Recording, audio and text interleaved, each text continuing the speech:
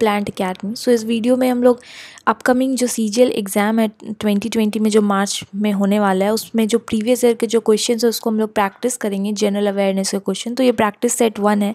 अगर आप लोग को आंसर आता हो तो आप कमेंट बॉक्स में कमेंट कर सकते हैं, या आप सेल्फ चेक भी कर सकते हैं कि आपको कितने आंसर्स आते हैं। चलिए चलते हैं आज के पहले क्वेश्चन की तरफ़। ओके तो आज का पहला क्वेश्चन मैंग्रोव की खेती के लिए निम्न में से कौन सा क्षेत्र प्रसिद्ध है? ठीक है?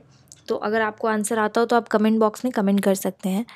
तो ओडिशा का दंडकर्णीय जंगल उत्तर प्रदेश का कॉर्बेट नेशनल पार्क क्लिम्पंग का लावा जंगल या दक्षिणी चौबीस परगना का सजनेखली जंगल। सो so, मैंग्रोव की खेती के लिए निम्न में से कौन सा क्षेत्र प्रसिद्ध है? तो इसका सही आंसर है ऑप्शन डी यानी कि ऑप्शन डी क्या है? दक्षिणी चौबीस परगना का सजनेखली जंगल। ओके? तो दूसरा क्वेश्चन स्वेज नहर किस किस को जोड़ती है? स्वेज नहर निम्न में से कौन से सागर को जोड़ती है? पहला ऑप्शन भूमध्य सागर और उत्तरी सागर, लाल सागर और कैस्पियन सागर। बाल्टिक और कैस्पियन सागर और भूमध्य सागर और लाल सागर। तो इसका सही आंसर है ऑप्शन डी, यानी भूमध्य सागर और लाल सागर, यानी स्वेज नहर। किसको किसको जोड़ती है? तो भूमध्य सागर और लाल सागर को जोड़ती है, यानी कि ऑप्शन डी इसका राइट आंसर है। खासी और गारो जातियाँ मुख्यतः कहाँ पाई जाती है? खासी और गारो जनजातियाँ निम्न में से कौन से जगह पाई जाती है? नागालैंड, मणिपुर, मेघालय या Mizoram. So C is the right answer यानी कि मेघालय में खासी और गारो जनजातियाँ मुख्यतः पाई जाती है। महाद्वीपों के पश्चिमी उष्णकटिबंधीय क्षेत्रों में मरुस्थल पाए जाते हैं, क्योंकि पश्चिमी सीमांत क्षेत्रों में वाष्पीकरण की दर अधिक है, पूर्वी व्यावसायिक पवन चलते हैं, पश्चिमी तटों पर महासागर की ठंडी धाराएँ बहती है। यह ऑप्शन डी पूर्वी व्यवसाय पवन चलते हैं और पश्चिमी तटों पर महासागर की ठंडी धाराएँ बहती है। तो महाद्वीपों के पश्चिमी उष्णकटिबंधीय क्षेत्रों में मरुस्थल पाए जाते हैं। इसका सही आंसर है ऑप्शन डी यानी कि पूर्वी व्यवसायी पवन चलते हैं और पश्चिमी तटों पर महासागरों की ठंडी धाराएँ बहती है। सागर तल, जो धीरे धीरे कम होता जाता है और किसी महाद्वीप को घेरता है, क्या कहलाता है? महाद्वीप प्लेटफॉर्म, महाद्वीप ढाल, महाद्वीप सेल्फ या तट। तो सागर तल जो धीरे धीरे कम होता जाता है, ठीक है, और वो किसी महाद्वीप को घेरता है तो उसको महाद्वीप सेल्फ कहते हैं। यानी कि इसका सी ऑप्शन सही है। भारत की सबसे महत्वपूर्ण यूरेनियम खान कहाँ स्थित है? भारत की में सबसे ज़्यादा यूरेनियम कहाँ पाया जाता है? यूरेनियम खान कहाँ स्थित है? वासी, जादूगुड़ा, गौरी, बिरानूर या मनाव कुलिरिची, ठीक है? तो इसका राइट आंसर है ऑप्शन बी यानी जादूगुड़ा जादूगुड़ा झारखंड में पड़ता है, ठीक है? तो सबसे ज़्यादा महत्वपूर्ण यूरोनियम यूरेनियम खान जादूगुड़ा झारखंड में स्थित है। ना खत्म होने वाली कहानी किसकी आत्मकथा है? तो ना खत्म होने वाली कहानी वीपी सिंह यानी ऑप्शन सी जो है इसका आंसर है। वीपी सिंह की आत्मकथा है। हड़प्पा की सभ्यता के बारे में कौन सी उक्ति सही है? उन्हें अश्वमेध की जानकारी थी। गाय उनके लिए पवित्र थे। उनकी संस्कृति समानता स्थिर नहीं थी या उन्होंने पशुपति का सम्मान करना आरंभ किया था। सो, सभ्यता, हड़प्पा की सभ्यता के बारे में ऑप्शन डी सही है। यानी कि डी इसका राइट आंसर है। उन्होंने पशुपति का सम्मान करना आरंभ किया था। भारतीयों के लिए महान सिल्क मार्ग किसने आरंभ किया? फाहियान, अशोक, हर्ष या कनिष्क। तो किसने भारतीयों के लिए सिल्क मार्ग आरंभ किया था? तो option D is the right answer, यानी कि कनिष्क ने सिल्क मार्ग का आरंभ किया था। जैनियों के पहले तीर्थंकर कौन थे? पार्श्वनाथ, ऋषभ, अरिष्टनेमी या अजीतनाथ? तो जैन के पहले तीर्थंकर थे ऋषभ, ठीक है? और महावीर कितने थे? तो महावीर ट्वेंटी फोर्थ थे। यादव सम्राटों की राजधानी कहाँ थी? कल्याणी, देवगिरी, वारंगल या Dwarasamudra? So Devagiri is the right answer यानी कि यादव सम्राटों की राजधानी देवगिरी थी, यानी बी इसका राइट आंसर है। चोल राजाओं ने किस धर्म को संरक्षण प्रदान किया? वैष्णव धर्म, बौद्ध धर्म, जैन धर्म या शैव धर्म? तो चोल राजाओं ने किस धर्म को संरक्षण प्रदान किया?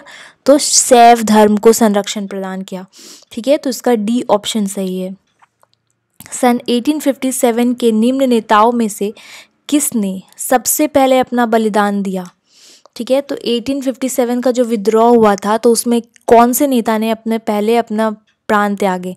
तात्या टोपे, झांसी की रानी लक्ष्मीबाई, मंगल पांडे और कुंवर सिंह। सो मंगल पांडे मंगल पांडे ने 1857 का जो विद्रोह हुआ था, उसमें उन्होंने अपना बलिदान दिया। So C is the right answer Vijay Stambh कहाँ स्थित है? चित्तौड़गढ़, फतेहपुर सिकरी, झांसी और दिल्ली। तो विजय स्तंभ कहाँ स्थित है? चित्तौड़गढ़ में है विजय स्तंभ। तो इसका राइट आंसर क्या है? ए यानी कि विजय स्तंभ है चित्तौड़गढ़ में स्थित। निम्नलिखित में से वे कौन सी शर्त है जो भारत के विकास के लिए आवश्यक नहीं है? संशोधन खोज, संसाधन खोज, जनसंख्या वृद्धि, प्रौद्योगिक विकास या पूंजी संचयन। सो, निम्न में से कौन सा ऐसा शर्त है जो भारत के विकास के लिए आवश्यक नहीं है? तो वो है ऑप्शन बी, यानी जनसंख्या वृद्धि। ओके?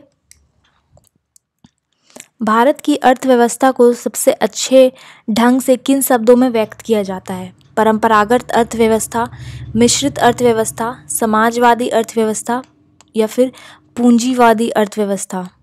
ठीक है? तो भारत की अर्थव्यवस्था को सबसे अच्छे ढंग से किसमें, किस अर्थव्यवस्था के अंदर रख सकते हैं? तो मिश्रित अर्थव्यवस्था, यानी कि ऑप्शन बी इसका सही है। किसी वृक्ष की आयु का निर्धारण निम्न में से किसके आधार पर किया जाता है? वृक्ष कितने साल पुराना है, ये वृक्ष के किस आधार पर किया जाता है? विकास वलय, समान दिखाव, ऊंचाई या घेरा? तो विकास वलय जो है, इसके आधार पर वृक्ष की आयु का हम लोग निर्धारण करते हैं। So A is the right answer मानव में गुर्दे का रोग किसके प्रदूषण से होता है?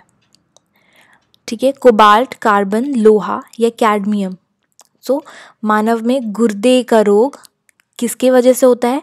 तो कोबाल्ट की वजह से होता है। So A is the right answer अगर आप लोगों को आंसर पता हो तो आप कमेंट बॉक्स में कमेंट कर सकते हैं या फिर सेल्फ चेक कीजिए कि आउट ऑफ़ ट्वेंटी फाइव आप लोगों को कितने मिले। किस पौधों की फलों की भूमि, किस पौधे की फलों को भूमि के नीचे पाया जाता है? मूंगफली, प्याज, गाजर या आलू? तो मूंगफली को हम लोग ज़मीन के नीचे पाते हैं, यानी मूंगफली के फलों को भूमि के नीचे पाया जाता है। यानी कि इसका आंसर ए सही है। साइलेंट वैली में दुर्लभ और नष्ट प्राय पशु कौन सा है? Silent Valley. Silent Valley National Park है। कहाँ? तो केरला में। ओके? तो वहाँ पे कौन सा सबसे दुर्लभ और नष्ट प्राय पशु कौन सा है? चीता, शेर की पूंछ जैसा मकाक गेंडा या कस्तूरी मृग मृग। So B is the right answer यानी शेर की पूंछ जैसा मकाक साइलेंट वैली जो कि केरल में है, ठीक है? वहाँ पे दुर्लभ और नष्ट प्राय पशु वही है, ठीक है? तो B is the right answer शुद्र ग्रह, जिसको इंग्लिश में एस्टेरॉयड भी कहा जाता है। सूरज के चारों ओर किनके बीच चक्कर लगाते हैं? मंगल और बृहस्पति बृहस्पति और शनि शनि और वरुण, पृथ्वी और मंगल। सो शुद्र ग्रह यानी एस्ट्रॉयड सूरज के चारों ओर किन के बीच चक्कर लगाते हैं? तो मंगल और बृहस्पति के बीच चक्कर लगाते हैं। So A is the right answer भारतीय सिविल सेवा में चुने गए पहले भारतीय का नाम क्या था? लाला लाजपत राय सत्येंद्र नाथ टैगोर सुरेंद्र नाथ बैनर्जी और सरोजनी नायडू। सो, भारतीय सिविल सर्विस में जो सबसे पहले चुने गए थे, वो थे सत्येंद्र नाथ टैगोर। ठीक है तो इसका answer B answer B option सही है। The God of Small Things पुस्तक किसने लिखी है? The God of Small Things ठीक है, किसने लिखी ये बुक शोभा डे, शेखर कपूर, अरुंधति रॉय और विपुल देव। ठीक है तो अरुंधति रॉय, यानी ऑप्शन सी जो है इसका सही है। तो the God of Small Things पुस्तक अरुंधति रॉय के द्वारा लिखा गया, यानी C option is the right answer मानव शरीर में डिहाइड्रेशन निम्न पदार्थों की कमी के कारण हो जाता है। ये तो आई थिंक सबको आता होगा। जल की वजह से डिहाइड्रेशन होता है। ठीक है? तो ऑप्शन बी इसका सही है। अप्रत्यक्ष कर से क्या आशय है? कर पर आधारित हो, कर आय पर आधारित हो, जिस पर कर लगाया गया हो, उसी पर इसका प्रभाव और दबाव पड़ेगा। करदाताओं और सरकार के बीच कर के संबंध में कोई सीधा संबंध ना हो या फिर ऑप्शन डी, करदाता और सरकार के बीच कर के संदर्भ में सीधा संबंध हो। तो इसका सी ऑप्शन सही है, यानी कि अप्रत्यक्ष कर क्या है? तो करदाता और सरकार के बीच में कर के संबंध में सीधा कोई संबंध नहीं होता है, ठीक है? तो उसको अप्रत्यक्ष कर बोलते हैं, ठीक है? तो ये आज का प्रैक्टिस सेट था। आई होप कि आप लोगों को अच्छा लगा हो। तो ऐसे ही वीडियो डेली अपलोड होते रहेंगे। अगर आप लोग को ये वीडियो अच्छा लगा हो तो लाइक शेयर और सब्सक्राइब ज़रूर करें। And thank you for watching